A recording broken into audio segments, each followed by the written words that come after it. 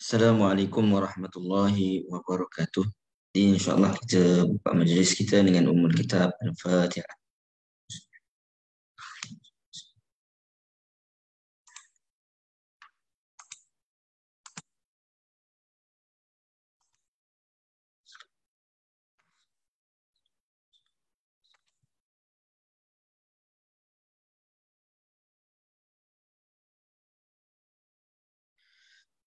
Alhamdulillah Rabbil Alamin. Assalatu wassalamu ala ashrafil anbiya wal mursalin Wa ala alihi wa sahbihi ajma'in.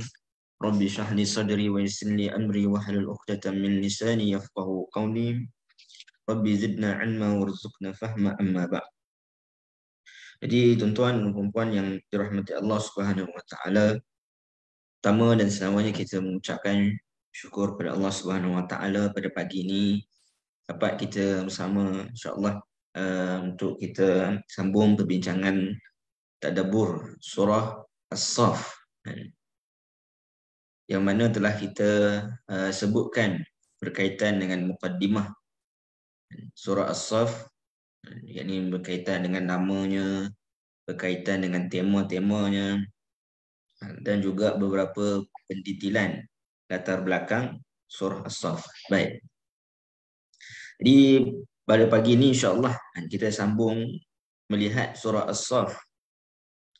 Sebagaimana pengakhiran kelas yang lalu saya sebutkan surah As-Saf ini sebagai salah satu surah surah musabbihat. Surah-surah yang dimulakan dengan tasbih. Maka hari ini kita akan melihat ya ini surah As-Saf ini ini kedudukannya di dalam rangka sebagai salah satu surah-surah musabbihat. Kita nak melihat tentang uh, kesatuan tema daripada surah-surah musabbihat ini. Baik. Jadi bila kita sebutkan surah musabbihat, maka ia membawa maksud eh, surah uh, yang bermula padanya dengan perkataan tasbih. Ya ini dari sudut kalau kita melihat di dalam Al-Quran ada tujuh surah yang mana bermula uh, dengan tasbih. Itu surah yang pertama ni kalau mengikut susunan mushaf adalah surah Al-Isra, surah yang ke-17. Yang mana ianya surah Makkiyah. Kemudian surah Al-Hadid surah yang ke-57 Madaniyah, surah Al-Hashar, surah yang ke-59 Madaniyah, surah As-Saf, eh, surah yang ke-61 Madaniyah, surah Al-Jum'ah, surah yang ke-62 Madaniyah, surah At-Taghabun, surah yang ke-64 Madaniyah, dan yang terakhir adalah surah Al-A'la, surah yang ke-87 Makiyah. Baik. Jadi dari sudut permulaan surah-surah ini pun ada perbezaan uslub yang didatangkan. Maknanya ada kadang-kadang bermula dengan masdar, kan? bermula dengan subhana. Ada surah yang bermula dengan fi'lul madhi, sabbaha lillah. Ada yang bermula dengan uh, fi'lul mudhari, yusabbihu lillah. Dan ada yang bermula dengan fi'lul amma. Ani sabbih isma rabbikal a'la.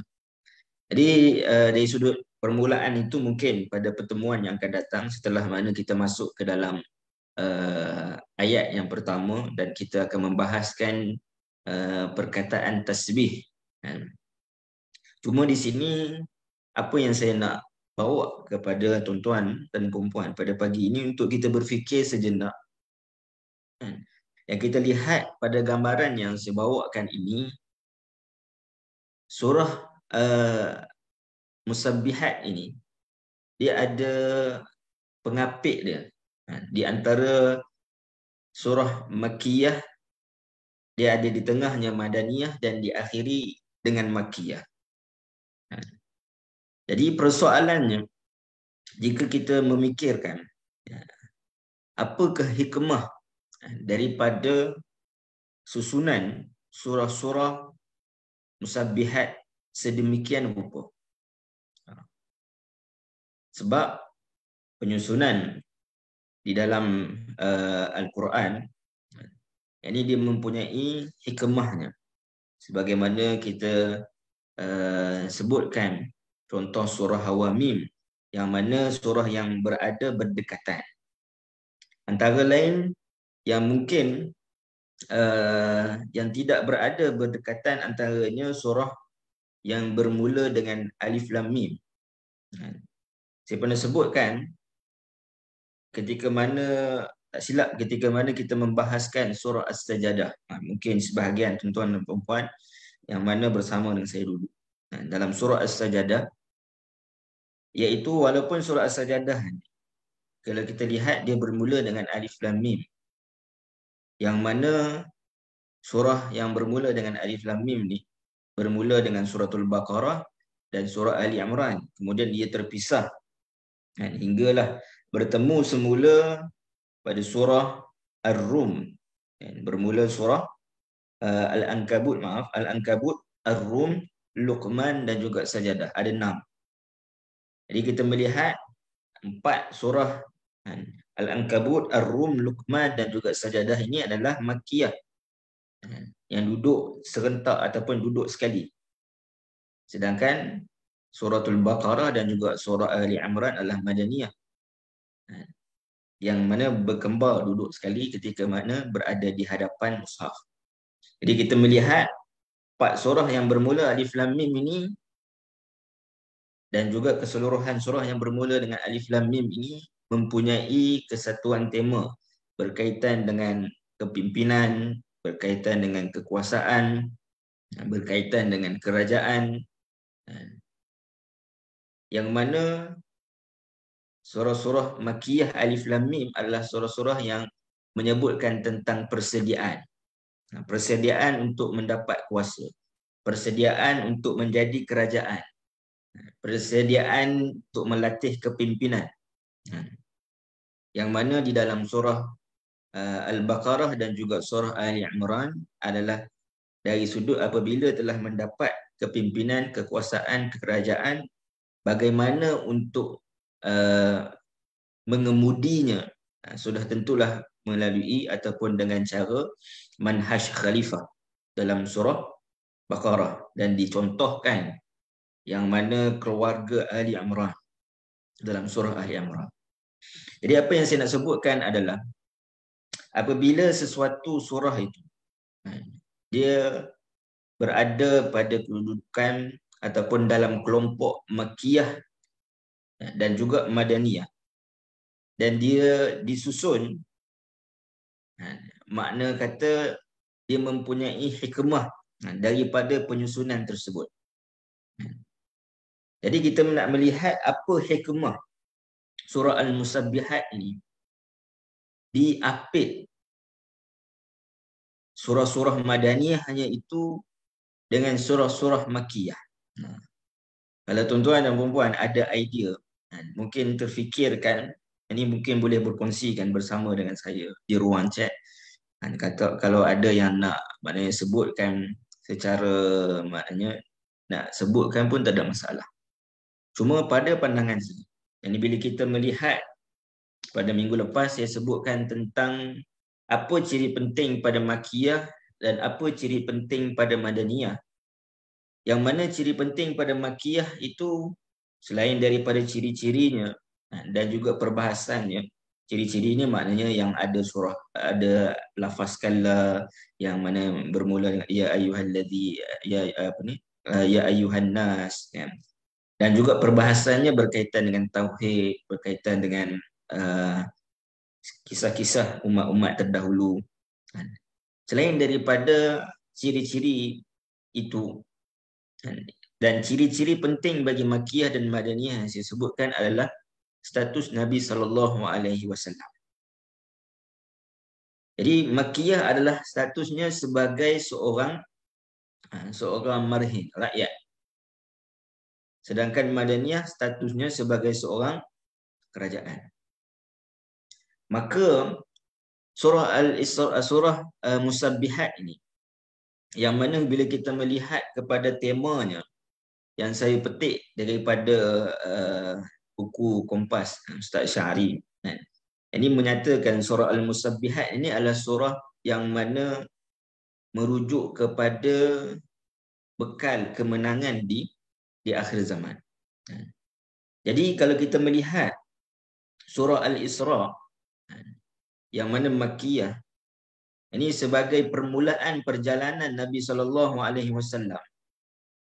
Nak di uh, nobatkan uh, sebagai orang yang mana namp- dinampakkan dari sudut Nabi sallallahu alaihi wasallam yang mana mengambil alih dari sudut manhaj khalifah.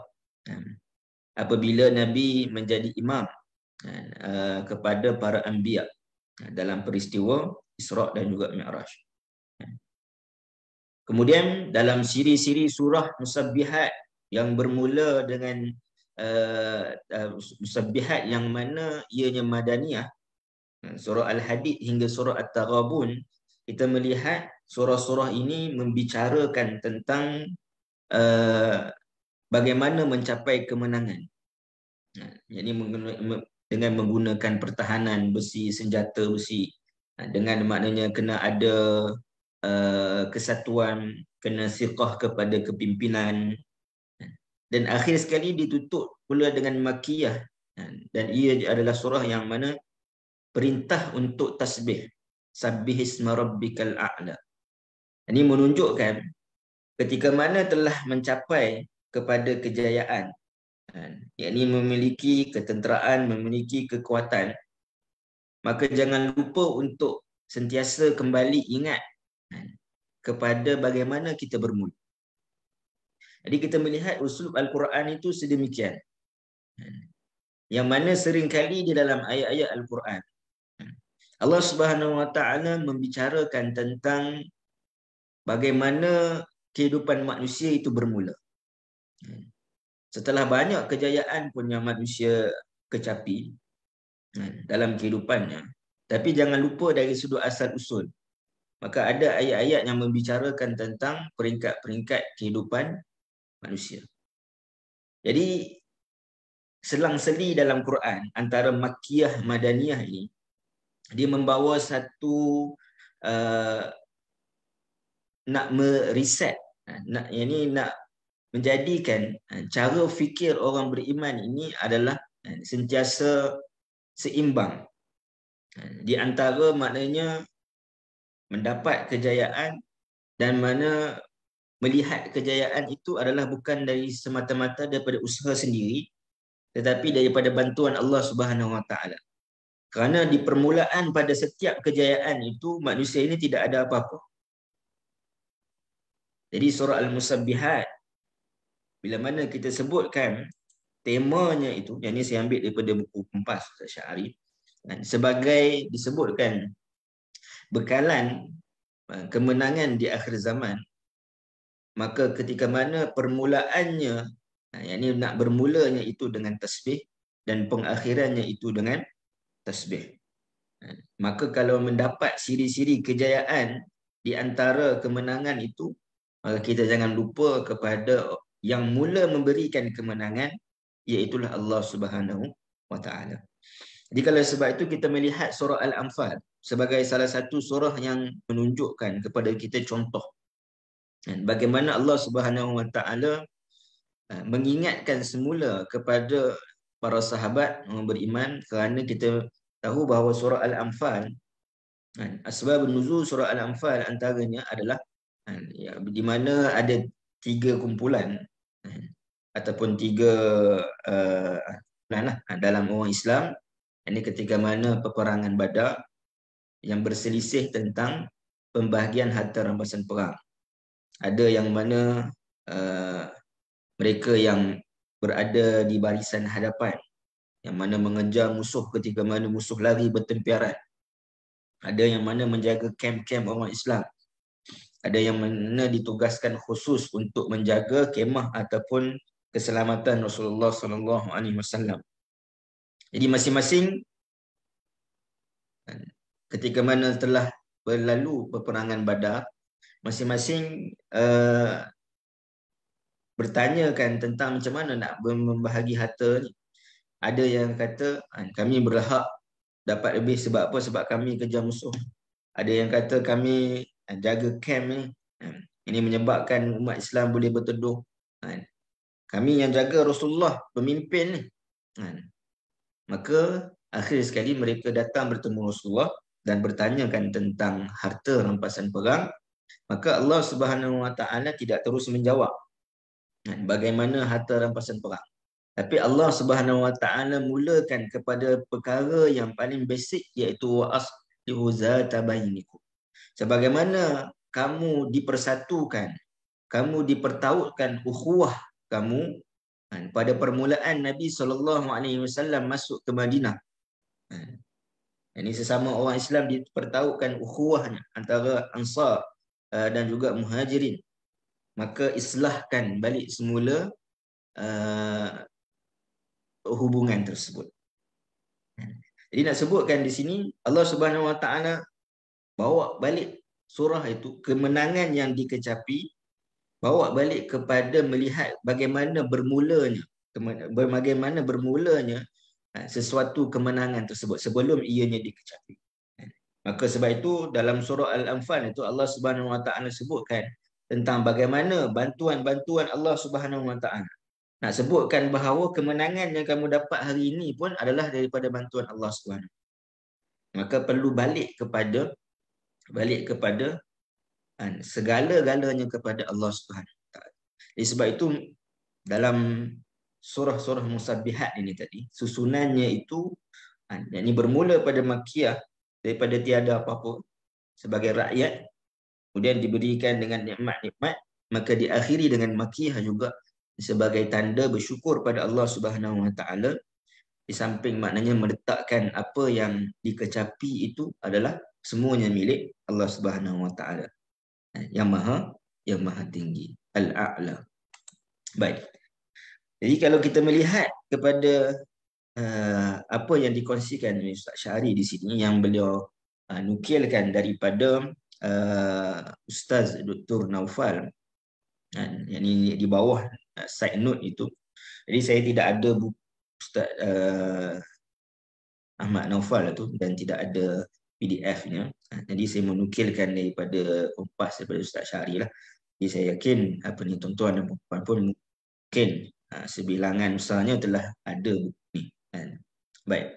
Jadi kalau kita melihat bagaimana Uh, susunan surah Al-Musabbihat ini yang ini bermula dengan suratul Isra dengan berita gembira kemenangan atas Masjidil Aqsa pada akhir zaman yang Allah Subhanahu Wa Taala sebutkan pada ayat yang ketujuh. Dan kemudian surah Al-Hadid datang dengan menyebutkan bahawa pembukaan Baitul Maqdis di akhir zaman itu tidak akan berlaku dengan cara perdamaian. Ia mesti berlaku dengan cara peperangan dan penggunaan teknologi. Berkait, uh, menggunakan teknologi iaitu besi pada ayat yang ke-25. Yang mana Allah Subhanahu Wa Taala sebut wa anzalna al-hadid. Allah Subhanahu Wa Taala menurunkan al-hadid. Kemudian yang ketiga dalam surah Al-Hasyr. Ha, surah yang mana menyebutkan tentang pembukaan Baitul Maqdis akan berlaku dengan kepungan dan penghalauan Bani Israel moden dari tanah suci sebagaimana itulah yang berlaku kepada Yahudi Bani Nadir pada zaman Rasulullah sallallahu alaihi wasallam.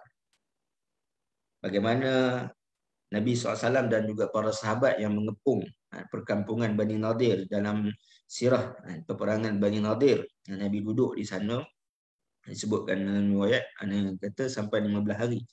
Ha, Nabi duduk di sana ini menyebabkan kegerunan kepada orang Yahudi ketika itu dan akhirnya mereka keluar daripada perkampungan mereka.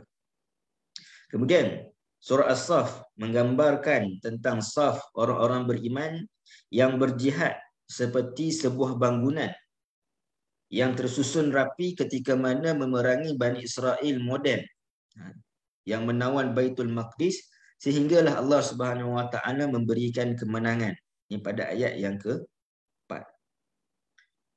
Kemudian datang surah Al-Jumuah kemenangan Baitul Maqdis akan dibantu oleh Allah Subhanahu Wa Taala Al-Quddus itu sendiri dan kemenangan itu akan membuka kemenangan Islam ke seluruh dunia.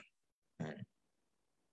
Surah At-Taghabun ini kesudahan mereka yang kafir pada hari Al-Jam'u itu, hari pengumpulan di akhirat kelak selepas kemenangan umat Islam atas bumi Baitul Maqdis, yakni kesudahan yang buruk ha, pada hari uh, yang disebut sebagai hari pengumpulan ataupun Yaumut Tarabun.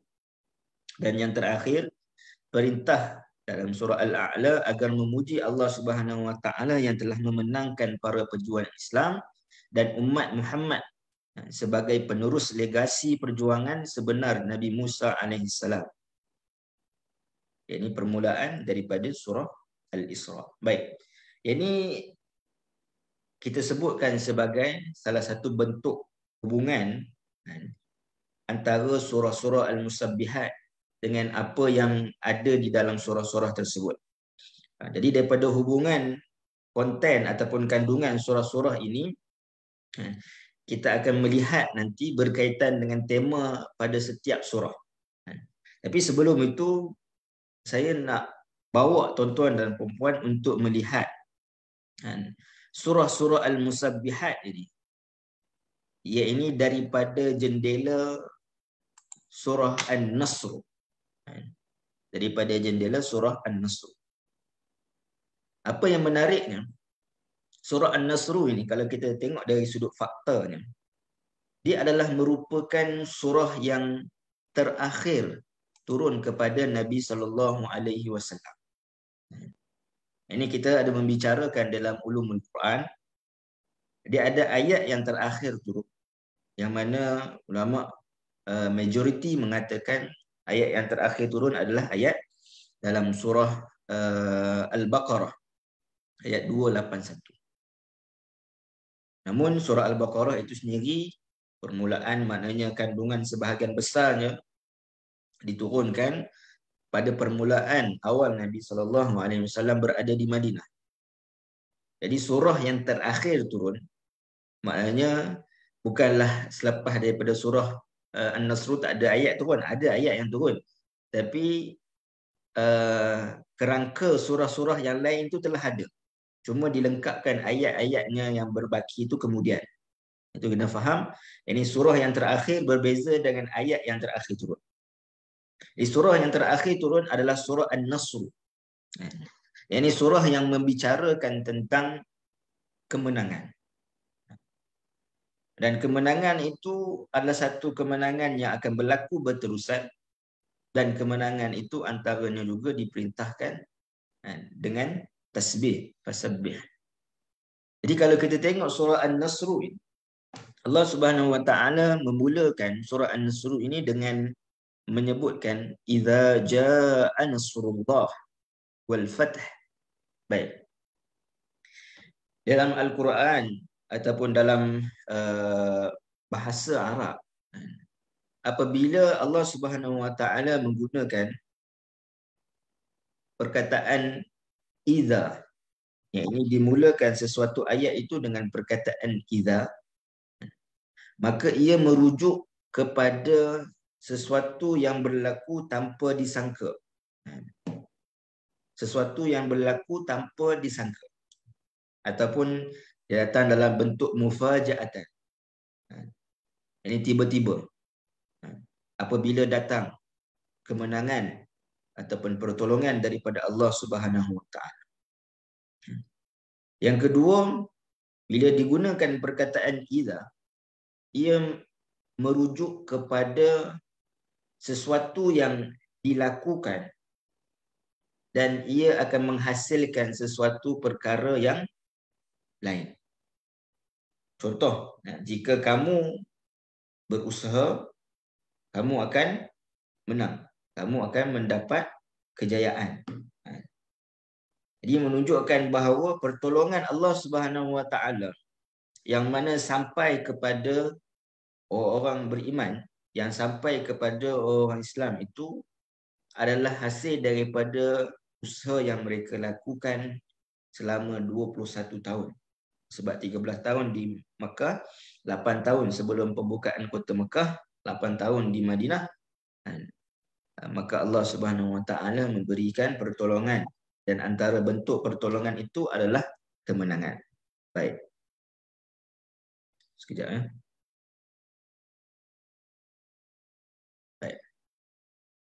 Jadi bila Allah Subhanahu Wa Taala sebut iza jaa nasrullah dan perkataan iza didatangkan dengan jaa dan jaa ini datang yang merujuk kepada datangnya itu dengan perkara uh, dengan satu tempoh yang agak lama.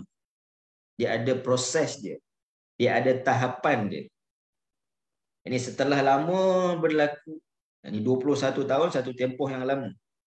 Dakwah itu maka tiba-tiba ataupun secara tanpa disangka itu datangnya bantuan daripada Allah Subhanahu Wa Taala, Nasrullah. Dan Allah Subhanahu Wa Taala menyebutkan Kan? perkataan wal fath kan? kita sebut tentang perkataan wal fath ini adalah tentang pembukaan kota Mekah. Jadi peristiwa pembukaan kota Mekah ini adalah satu yang uh, berlaku tanpa disangka. Kerana permulaan pembukaan kota Mekah ini dia berkait dengan perjanjian Hudaibiyah yang mana uh, orang-orang musyrikin mereka telah bersubahat dengan Banu Bakar kan, untuk uh, apa nama uh, menentang Khuza'ah. Nama Khuza'ah ini adalah uh, orang yang ataupun kumpulan yang uh, bersama dengan Rasulullah sallallahu alaihi wasallam. Jadi menyebabkan berlaku uh, perlanggaran kepada perjanjian Hudaibiyah itu menyebabkan uh, akhir sekali mereka ditawan ini pada pembukaan kota Mekah. Baik. Jadi ketika mana ia datang, kemenangan itu datang, maka Allah Subhanahu Wa Taala sebut wa ra'aitan nas yadkhulun. Yani manusia ini akan berterusan. Yadkhulun kita tahu fi'il mudhari' yang merujukkan kepada sesuatu yang berlaku sekarang ataupun yang berlaku berterusan. Yang mana melihat ha, orang yang masuk berterusan itu merujuk kepada berterusan hinggalah sampai kepada kita hari ini. Menunjukkan kepada kemenangan Islam adalah kemenangan yang akan dicapai oleh orang Islam sehinggalah pada akhir zaman. Tapi apa perkara yang diperintahkan oleh Allah Subhanahu Wa Taala? Ada tiga dan salah satunya adalah fasabbih. Iaitu bertasbihlah kepada Allah Subhanahu wa taala. Baik, kenapa tasbih? Kerana tasbih di sini membawa maksud bila kita sebutkan tasbih antaranya adalah tanzih, yakni menyucikan Allah Subhanahu wa taala daripada sebarang kekurangan. Dalam Hudaibiyah kita tahu apa yang berlaku dan para sahabat uh, melihat perjanjian itu sebagai berat sebelah. Ini nampak ia melebihkan orang-orang uh, musyrikin Mekah ha, berbanding orang Islam. Kejahatan sejata 10 tahun tak boleh tunaikan umrah tahun tu kena datang tahun depan itu pun 3 hari je. Ha, ya, orang Islam yang mana daripada Madinah ke Mekah tak dipulangkan. Orang yang Mekah pergi ke Madinah kena dipulangkan. Ha, jadi nampak kecenderungan ataupun perjanjian itu berat kepada orang musyrikin. Hingga kan ketika mana Nabi SAW nak melakukan damun ihsar. Damun ihsar ni maknanya sebab Nabi berdalam berpakaian ihram. Nabi nak keluar daripada larangan ihram maka dia kena dam. Dam yang dimaksudkan adalah ihsar untuk keluarkan diri daripada larangan tersebut. Disebabkan terhalang untuk melakukan umrah. Jadi apa damnya mana Nabi sembelih dan bercukur. Sembelih haiwan kemudian bercukur. Jadi Nabi ajak ataupun Nabi suruh para sahabat buat, para sahabat tak buat. Hmm. Bukan tak buat sebab ya ini sebabnya sebab rasa sedih hmm. dengan penerimaan Rasulullah SAW terhadap perjanjian tersebut.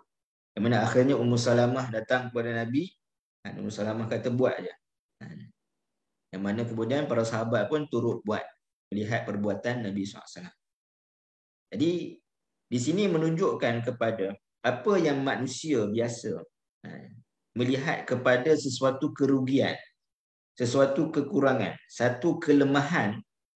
Ha, tetapi di sisi Allah Subhanahu Wa Taala Allah ada rencana yang lebih baik iaitu akan terjadinya pembukaan kota Mekah bahkan terjadinya pembukaan kota Mekah itu dalam keadaan aman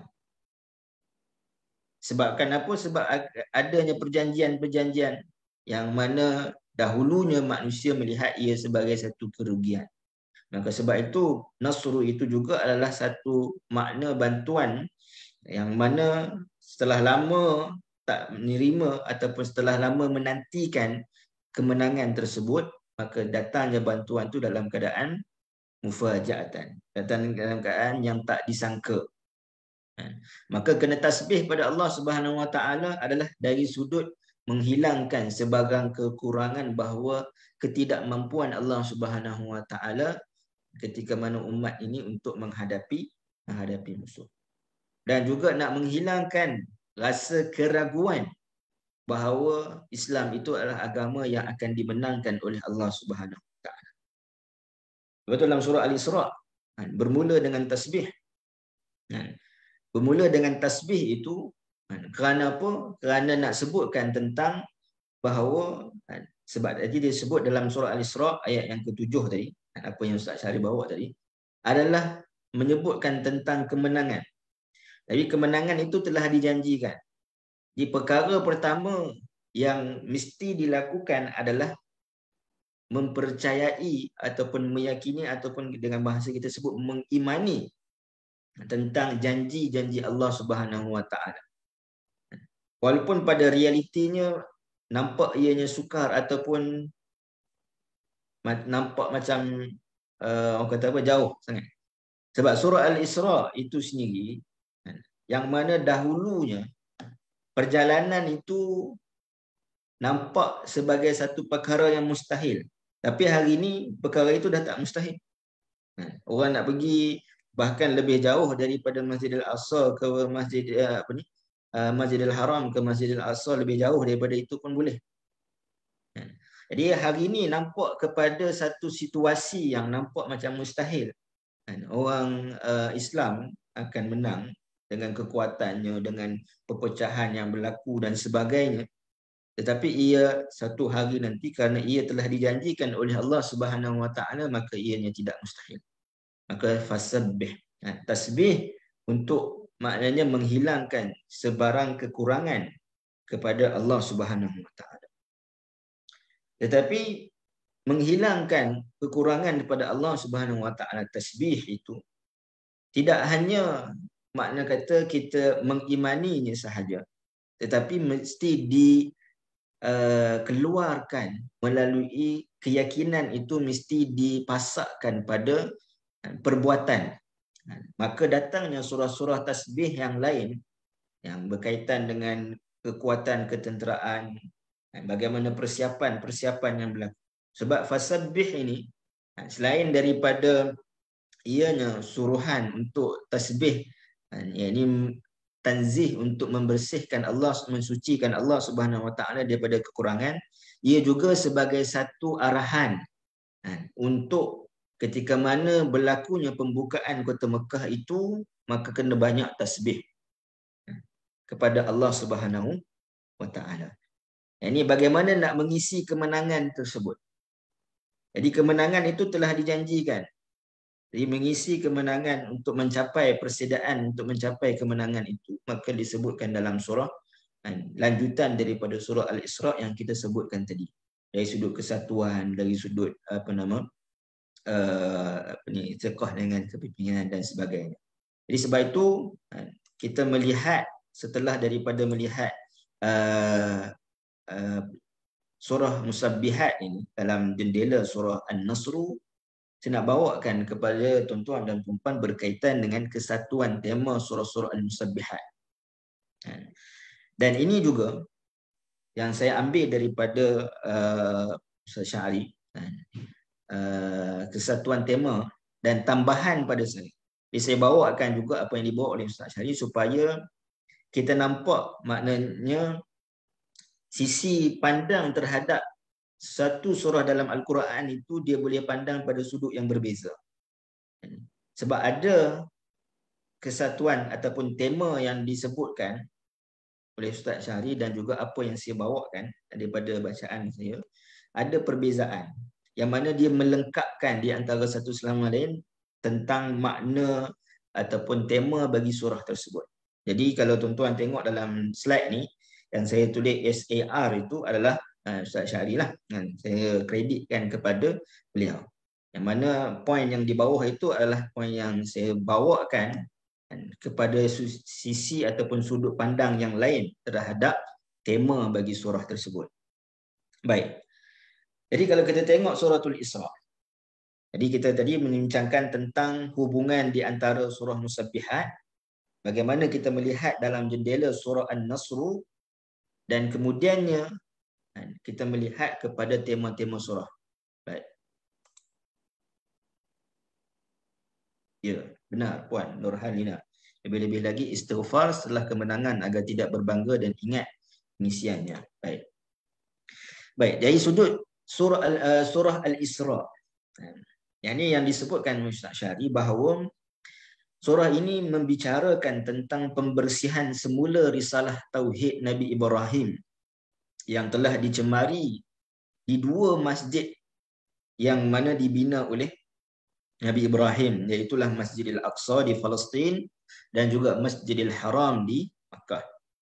Jadi di Palestin maknanya telah uh, tercemar risalah tauhid itu oleh ataupun pada tangan orang Yahudi dan di Masjidil Haram tercemar risalah tauhid itu di tangan orang-orang Quraisy. Maka misi pertama telah sempurna. Masjidil Haram telah dibuka oleh Nabi sallallahu alaihi wasallam. Maka misi yang kedua akan disempurnakan selepas maknanya pembukaan Masjidil Aqsa oleh hamba Allah Subhanahu wa taala yang disebutkan dalam surah Al-Isra. Jadi saya melihat pada sudut pandang Surah Al-Isra adalah surah yang membicarakan tentang pertembungan antara dua pihak iaitu yang hak iaitu Islam dan yang batil iaitu Yahudi. Maka sebab itu pada ayat yang ke-9 Allah Subhanahu wa taala menyebutkan tentang inna hadzal Quran yahdi lillati hiya aqwam. Ha, aqwam ini maknanya lebih betul, lebih benar. Kita lihat tafsiran yang dibawa oleh Ibn Ashur bahawa ia merujuk kepada Al-Quran yang lebih betul daripada apa yang ada pada Taurat sekarang ini yang telah diseleweng.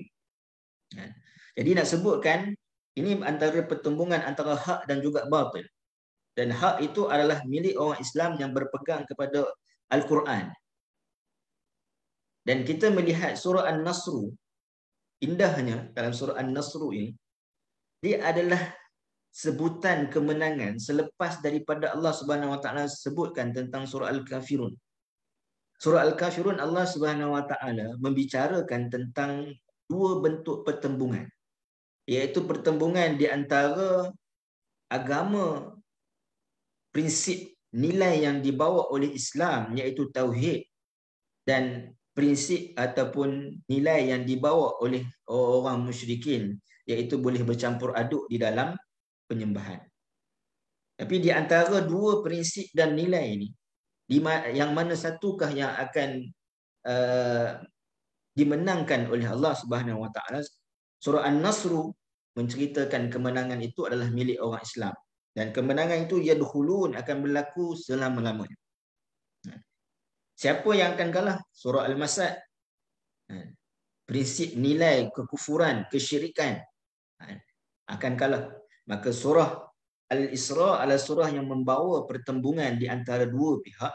Iaitu yang hak itu Islam dan yang batil orang Yahudi. Dan kemenangan telah dijanjikan. Iaitu milik orang Islam dengan syarat mengikut wasiat-wasiat hikmah. Jadi kalau kita tengok dalam surah Al-Isra ada wasiat-wasiat hikmah. Bermula daripada ayat 23 tak silap sampai ayat 39 dalam kita tengok wasiat-wasiat itu semuanya dalam kerangka tasbih. Bermula jangan mensyirikkan Allah dan bermula uh, dan kemudiannya diteruskan buat baik kepada ibu bapa semuanya dalam rangka tasbih tahmid dan juga istighfar.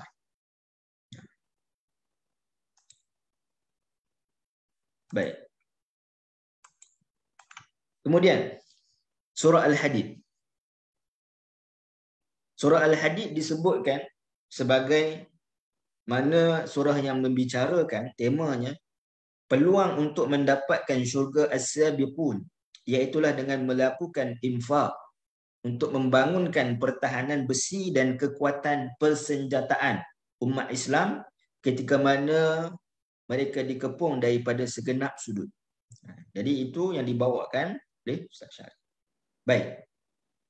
Saya melihat juga surah Al-Hadid ini ha, yang melengkapi apa yang disebutkan oleh uh, Ustaz Syarif iaitu dalam surah Al-Hadid juga adalah surah yang membicarakan tentang bahawa dunia ini adalah satu mainan. Jadi membawa manusia kepada kewaspadaan. Di samping maknanya kita melakukan amal kebaikan. Kita juga kena waspada dengan perkara-perkara yang mana boleh merosakkan perkara kebaikan yang kita buat ataupun menjauhkan kita daripada nak melakukan perkara kebaikan tersebut. Jadi waspada terhadap kegelinciran terhadap dunia yang penuh tipu daya pada surah Al-Hadid ayat yang ke-20 yang menghambat kekhusyukan daripada mengikuti Allah Subhanahu wa taala. Dalam surah Al-Hadid Allah Subhanahu wa taala sebut alam ya'ni ha. Yakni tidakkah bukankah datang uh, tidakkah lagi datang kepada orang yang beriman? Antakhsha'a qulubuhum li zikrillah. Untuk mana mereka khusyuk. Hati mereka dengan mengingati Allah Subhanahu wa taala. Jadi apakah yang menyebabkan kekhusyukan itu dihambat?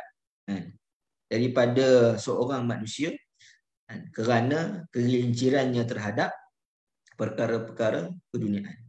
Tidak ada gunanya kalau kita ada simpanan harta yang banyak dengan kekuatan pertahanan persenjataan daripada besi tapi dalam masa yang sama hati kita, jiwa manusia ataupun orang beriman itu dia masih terpaut dengan dunia. Jadi tema itu melengkapi. Baik. Dan kekhusyukan itu adalah untuk mengingati Allah Subhanahu Wa Taala sebagai Tuhan yang menurunkan. Jadi saya letak koma itu kerana dalam Quran Allah Subhanahu Wa Taala sebutkan besi itu diturunkan merujukkan mana besi itu bukan datangnya daripada bumi ni. Dari sudut sains pun ni kalau kita kaji maknanya memang besi itu bukan berasal daripada bumi jadi Tuhan yang menurunkan bumi itu uh, menurunkan maaf besi itu juga Tuhan yang mana menurunkan Al-Quran uh, sebagai panduan untuk manusia uh, tidak tergelincir kepada kepada nikmat ataupun kesenangan dunia. Dan di samping menggunakan nikmat dunia yang Allah Subhanahu Wa Taala sebut dalam surah Al-Hadid ini berkaitan dengan besi dan harta sebagai jambatan akhirat. Mana kata kalaulah kan, ada perkara kan, kelebihan dunia yang kita perolehi daripada hasil kerja kita, mungkin bisnes kita, apa yang kita buat, kita kena jadikan ia sebagai jambatan untuk kita mendapat menuai hasilnya di akhirat. Kalau tidak, kan, kita akan ada satu corak pemikiran duniawi semata-mata. Jadi kita nak kita melihat dunia itu melalui kacamata akhirat. Baik. Surah Al-Hashr. Ini apa yang saya bawakan ini hampir sama uh, dengan apa yang disebutkan Ustaz Syarif. Iaitu dalam surah Al-Hashr Allah Subhanahu Wa Taala menunjukkan tentang kemenangan Islam ke atas musuh-musuhnya dengan cara Allah Subhanahu Wa Taala menampakkan kekuatan umat Islam dari sudut materialnya. Kalau kita tengok surah Al-Hasyr antara perkara yang berlaku adalah surah Al-Hasyr kita sebutkan tadi iaitu Allah Subhanahu uh, ceritanya adalah berkaitan dengan pengumpulan Bani uh, pengumpulan uh, Bani Nadir ini peperangan Bani Nadir. Yang mana apa yang berlaku untuk melakukan pengepungan kepada perkampungan Bani Nadir itu maka Allah Subhanahu Wa Taala membenarkan di dalam surah Al-Hasyr pada ayat yang kelima untuk orang-orang beriman ini memotong pohon kurma, kebun-kebun. Ma qata'tum min linatin aw taraktumuha qa'imatan ala usuliha fa bi iznillah wa liyukhziyal fasiqin. Jadi dari sudut kekuatan tentera Islam pada waktu itu datang dalam keadaan kita bayangkan al-hadid, ini besi antaranya apa nama uh, pedang-pedang. Bagaimana nak memotong pokok kurma ni uh, bukan satu benda yang mudah. Uh, jadi menunjukkan kekuatan dari sudut material. Dalam masa yang sama, kekuatan umat Islam itu adalah pada kesatuan. Hanya masing-masing bersama dengan Nabi sallallahu alaihi wasallam. Yang mana Allah Subhanahu wa taala sebut di dalam surah uh, Al-Hashr juga berkaitan dengan orang muhajirin dan juga ansar. Yang mana orang ansar ini disebutkan wa yu'thiruna ala anfusihim walau kana bihim khasasah. Jadi kekuatan pada material dan kekuatan kepada kesatuan umat Islam itu telah menyebabkan tercampaknya rasa ketakutan kepada musuh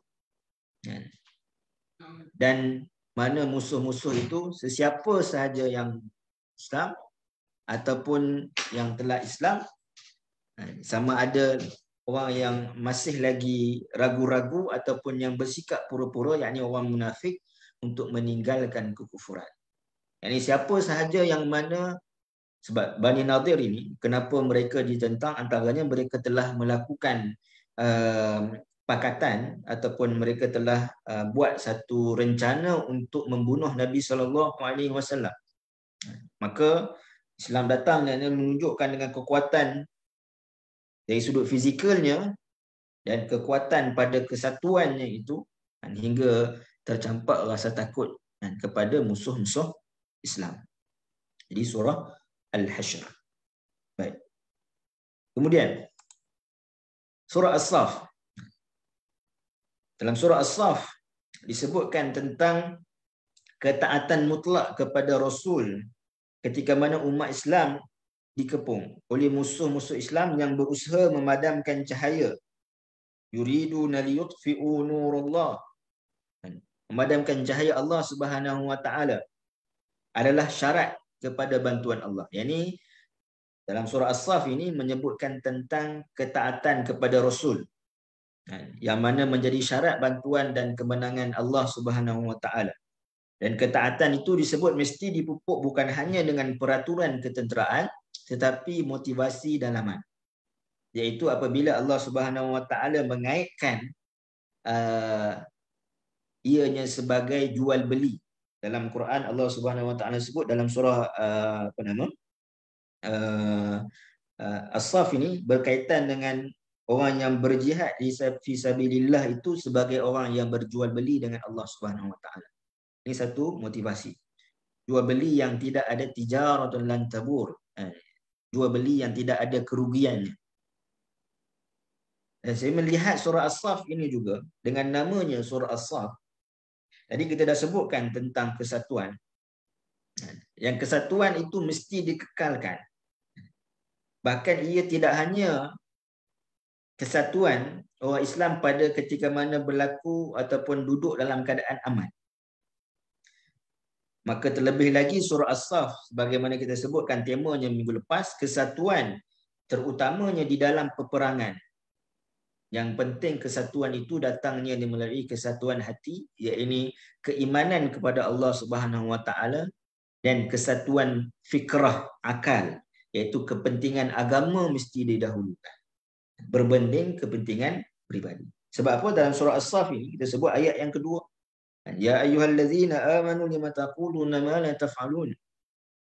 Yang kita sebutkan antara uh, asbabun nuzul pada ayat ini adalah para sahabat duduk-duduk ini menyebutkan bincang tentang apakah amalan yang paling afdal.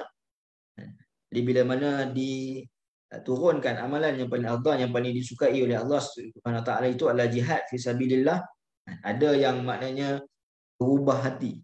Ataupun rasa jihad fi sabilillah ni adalah suatu perkara yang besar. Maka dari sudut akal ataupun fikiran fikrah yang kita sebutkan itu mesti melihat kepentingan agama yakni apa yang diperintahkan oleh Allah dan Rasulnya itu mestilah didahulukan berbanding kepentingan pribadi. Maka di situ akan melahirkan satu penyatuan. Baik. Kemudian surah Al-Jumu'ah. Surah Al-Jumu'ah menyebutkan tentang keikhlasan. Perjuangan memerlukan latihan, meninggalkan perniagaan dan hiburan di waktu seharusnya seorang itu berniaga dan berhibur di siang hari. Jadi tanpa latihan mingguan, ya, ini pada hari Jumaat, penyakit nifak, ya, ini keseronokan mengumpulkan harta dan anak pinak akan melemahkan umat Islam daripada dalam. Dan surah Al-Jumu'ah ini juga, kalau kita melihat, pada permulaan ayatnya Allah Subhanahu Wa Taala menyebutkan tentang peranan Rasulullah Sallallahu Alaihi Wasallam. Walladhi ba'asa fil ummiyyin rasulan minhum yatlu alaihim ayatihi wa yuzakkihim wa yu'allimuhum al-kitaba wal hikmah wa in kanu min qablu la fi dhalalin mubin. Allah sebutkan tentang wazifah peranan Rasulullah SAW ni ada empat. Iaitu yatluna alaihim ayatihi wa yuzakkihim wa yuallimuhumul kitab wal hikmah. Ada empat peranan.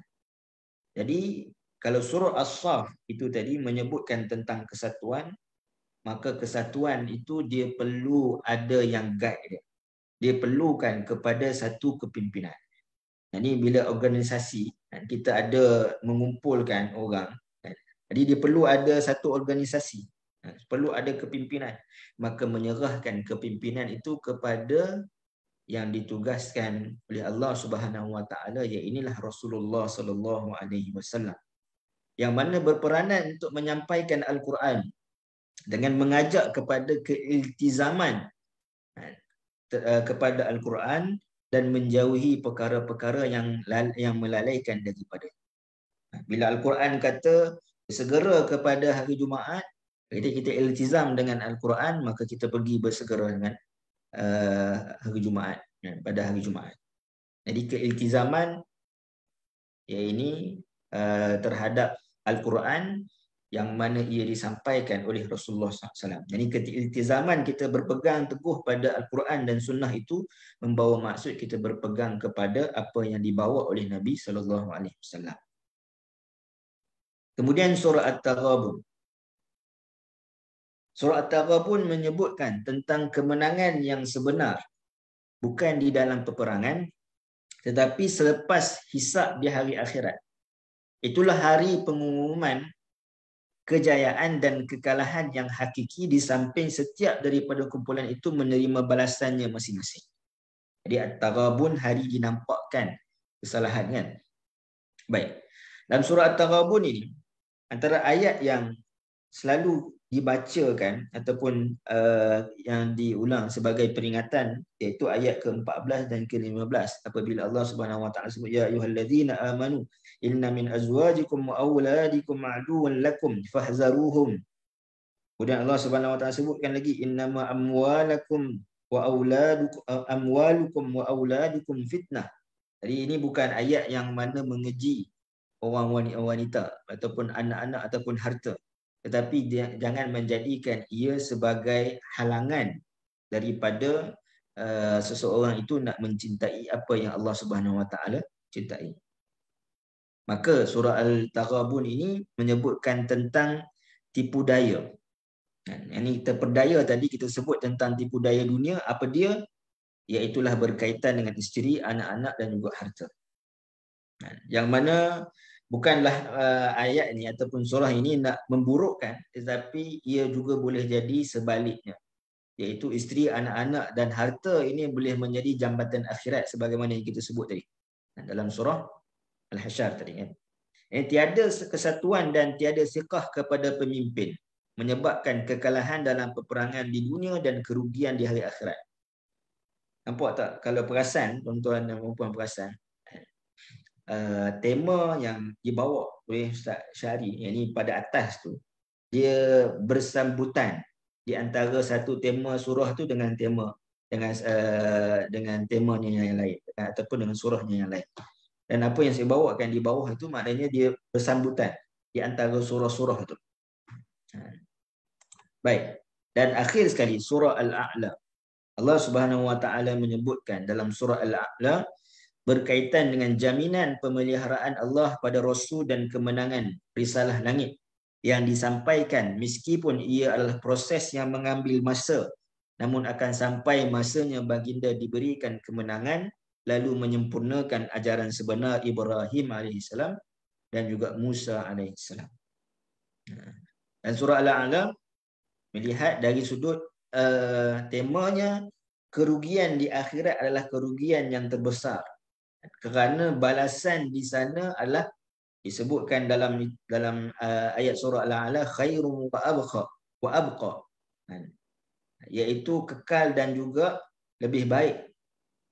Ya, ini kalau nak sebutkan ganjaran kebaikan itu kekal, yang ini kenikmatan dan lebih baik berbanding di dunia kerana ia adalah kurniaan Allah Al-A'la, maka sudah tentu balasan juga adalah balasan yang kekal, yang ini sengsara dan lebih memerikan. Ha, sebab itu dalam surah As-Sajadah disebutkan bahawa uh, uh, azab ataupun balasan ini disebutkan dengan balasan dunia ini disebutkan sebagai azab adna. Balasan yang rendah. Ataupun sikit.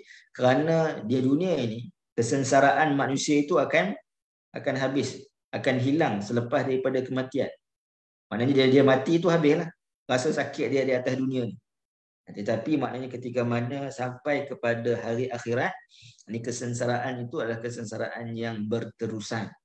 Bahkan sakitnya itu adalah sakit yang lebih memerikan. Ha, kalau nikmat dunia, ha, maaf, kalau nikmat kebaikan itu rasa kekal kenikmatannya dan lebih baik di dunia, maka begitulah balasan juga kekal, yakni kesengsaraannya itu dan juga lebih memerikan daripada ini menunjukkan maha tingginya Allah Subhanahu Wa Taala dan juga maha adilnya Allah Subhanahu Wa Taala dalam memberikan balasan kepada manusia. Baik. Jadi uh, kalau tuan-tuan melihat kan, maknanya kan, apa yang saya sebutkan ini daripada uh, tema-tema surah Al-Musabbihat daripada atas daripada surah Al-Isra tadi. Kalau tuan-tuan tengok yang belah atas itu gabungan-gabungan itu dia ada kronologinya. Dan begitulah juga yang bahagian bawah ni itu kan juga ada ini bahagian atas di sinilah. Ini apa yang saya bawakan uh, apa nama yang disebutkan oleh Ustaz Syari dan ini apa yang saya uh, inilah pembacaan saya saya bawakan kepada tuan-tuan dan jadi kalau kita melihat kan, kedua-duanya yang menyebutkan tentang tema akhir sekali membawa kepada tadi hubungan yang besar berkaitan dengan uh, bagaimana ia membentuk dan uh, bekalan kita untuk menghadapi situasi akhir zaman. Jadi kalau kita uh, risaukan tentang akhir zaman ini dengan pelbagai bentuk fitnah dan sebagainya, apa peranan ataupun perkara yang sepatutnya kita buat? Inilah yang kita sebut di dalam surah uh, Musabbihat ini tentang berpegang pada Al-Quran bagaimana kita bersatu dengan orang yang seakidah dengan kita kita menjauhi dari sudut pecahan dan sebagainya dan akhir sekali saya bawakan uh, hadis berkaitan dengan kelebihan al-musabbihat ini bagaimana yang disebutkan anna nabi sallallahu alaihi wasallam kana yaqra al-musabbihat qabla an yanqad yaqul inna fihi al-ayah khairun min alf ayah Nabi SAW menyebutkan bahawa membaca surah Al-Musabbihat uh, Nabi SAW membaca surah Al-Musabbihat sebelum daripada baginda masuk tidur. Ini sebelum Nabi tidur, Nabi membaca banyak surah. Antaranya ada surah uh, As-Sajadah dulu disebut dengan surah Al-Mu'ad. Jadi Nabi mempelbagaikan bacaan. Antaranya juga surah Al-Musabbihat. Dan disebutkan di dalamnya ada ayat yang lebih baik daripada seribu ayat. Di ulama khilaf lah tentang apakah yang disebutkan seribu ayat itu. Tapi akhirnya membawa kepada pandangan ia seperti mana malam Lailatul Qadar. Yang mana lebih baik daripada seribu bulan tak tahu malam mana. Uh, begitulah ayat itu tidak dipastikan pada malam yang mana cuma ada beberapa pandangan lah uh, kaitan dengan ayat. Ala kulihan maknanya kalau kita membaca memahami kesum, uh, semua ayat dan surah-surahnya mudah-mudahan ia uh, menjadi panduan dan juga mendapat ganjaran pahala daripada pembacaan insya-Allah.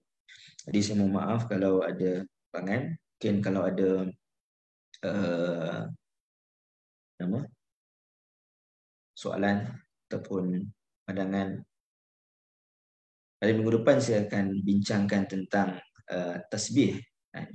makna tasbih dan juga bincangkan bagaimana permulaan setiap surah itu. Disebutkan tadi ada masdar ada dan kita akan sebut pergi kepada lebih detail kenapa surah-surah ada yang bermula dengan fi'lul madhi apa yang ada terkandung dalam surah itu kenapa uh, permulaan ada sebahagian surah bermula dengan fi'lul mudhari nanti kita akan uh, sambung ataupun lebih lanjutkan insyaallah baik jadi uh, terima kasih kepada puan Hadina Syaira dan uh, Puan Ain disebutkan uh, di sini banyaklah Puan Fuzia dan lain-lain atas kesudian bersama dengan kita pada pagi ini. Kalau tak ada apa uh, pertanyaan ataupun cadangan penambahan, Qauli hadza wa astaghfirullah lakum baik di sini sini uh, lagi insyaallah pada pertemuan akan datang. Assalamualaikum. Terima kasih Ustaz. Assalamualaikum. Terima kasih Ustaz. Assalamualaikum semua.